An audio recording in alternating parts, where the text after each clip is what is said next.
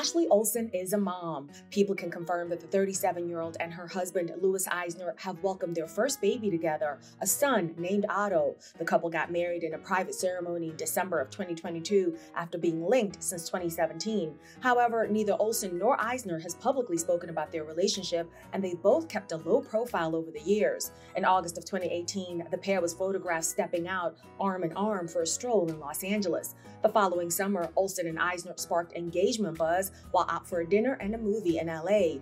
Rumors began to swirl after a photo surfaced of Olsen wearing a prominent dark band on her left ring finger. But while they've managed to keep details of their relationship private, they have occasionally stepped into the spotlight together. In 2021, Eisner shared a rare photo of Olsen on his Instagram. That same year, they made their red carpet debut as a couple.